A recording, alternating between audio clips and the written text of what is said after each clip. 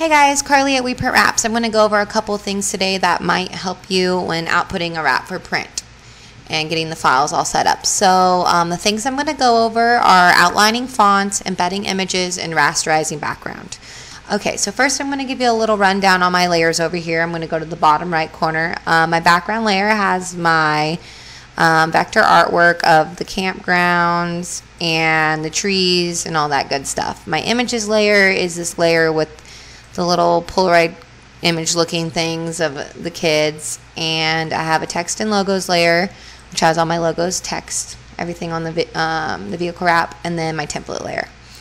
So um, one thing before you want to output your wrap for print, these are kind of things that are important when sending files and maybe uploading to our site.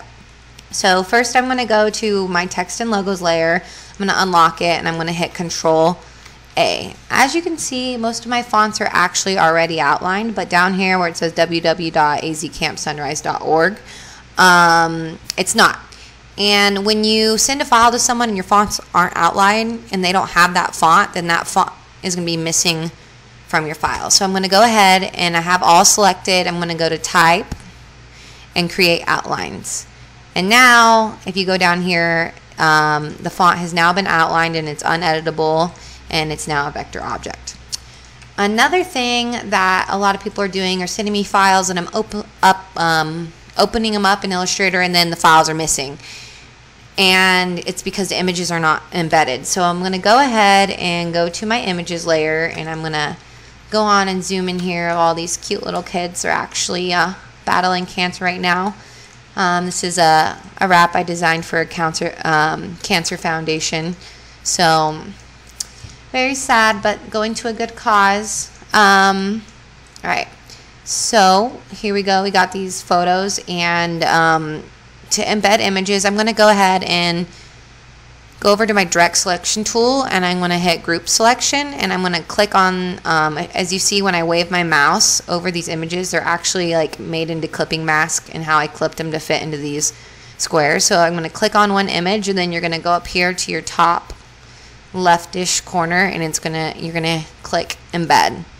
So now this file is saved in um, in the Illustrator file and it's not linked to a folder. So when you email the file to someone and they open up the, um, the images will be there.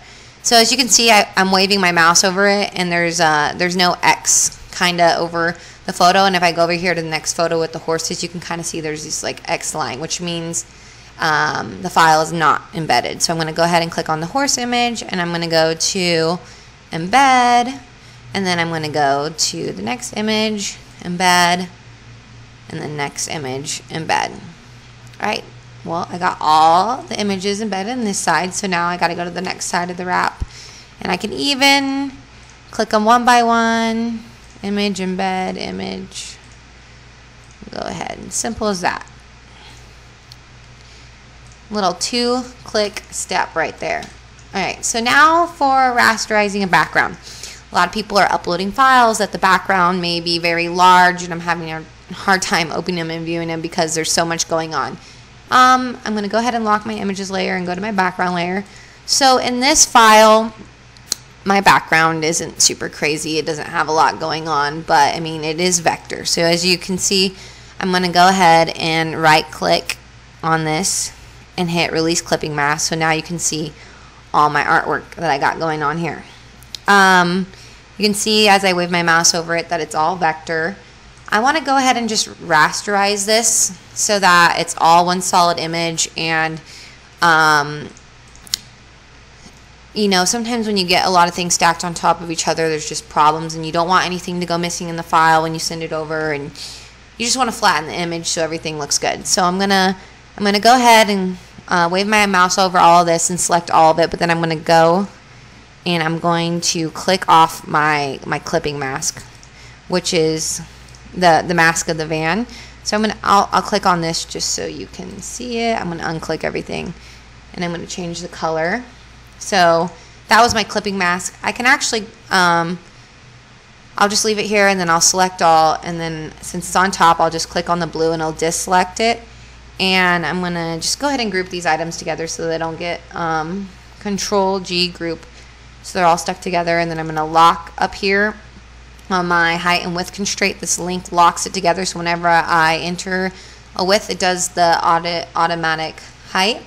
Um, when you're rasterizing something, you want to make sure you're at full scale when you rasterize it. I'm actually at a 10% scale right now. So this this print is saying um, the artwork right here is 246 inches, but right now it says 24.6 because it's at 10%. But I actually want to go ahead, move that decimal point once, and scale it all the way up. Oh, well that's not going to work because our artwork borders are only 227 inches. So I'm going to control Z and go back now. Um, okay, so what I'm going to do now, I'm just going to copy this width which is um, the 24.6 and just keep that. And then I'm going to just go ahead and scale this up to 200 inches. That should be good enough. I'm going to type in 200. I'm going to go to Object, Rasterize, and I'm going to, it pops up this little window and I want, I normally like to choose transparent. I don't like to have, like have things with white background, but if you do background and do white, if there's any weird shapes and there's not a background behind it, it's going to put a white background. But I normally just do transparent and I'm going to go ahead and do 300 dpi so it's the best resolution it could be. I'm in my RGB color format. I Some wraps I design in CYMK, some I design in RGB. This one's RGB. And I'm going to hit OK. So it's going ahead and it's taking the time to rasterize all this artwork for me. So just it's a waiting game.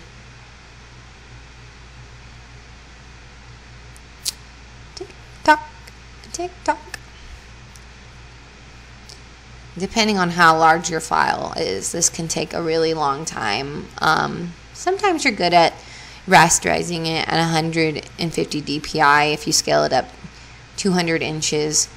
Um, almost close to the size it is, but it's um, I mean 300 dpi is the best resolution you can get. All right, so now you see all my little vector points went away and it's one flattened image. And there, um, I'm going to go, I made the image a little bit bigger, 0.0033, but that's not a big deal. So I'm going to go up here, Control A, highlight this whole, Control V, back to the size I had it before, and hit Enter. So now it shrink my background back to where it was before. And now I'm going to, so I'm going to go ahead and change this fill back to a stroke so we can see the artwork behind. So now when I click on the artwork, there's not all those vector points that were there before. So I'm going to go ahead and select all.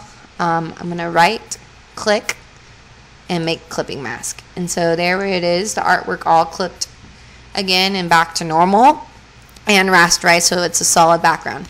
So in designing in a 10% scale, if you want to see what a full scale is actually going to look like and what the quality of the print is, I'm going to go down here to my bottom left corner, which says I'm at 66.67% and I'm going to go ahead and change that to 1000 so um, as you see as I zoom into a thousand percent this is what my print quality is looking at. Everything's looking pretty crisp and clear. Alright well that's all I got for you today for this one. Um, I'm stay tuned. I think I'm gonna go ahead and show you how to panel out a wrap on this transit. Um, I know transits uh, are used a lot in the wrap industry, and they're a little more difficult because um, their doors are a little bigger than a normal printer size, and they're taller. So stay tuned for that. All right, see you guys next time.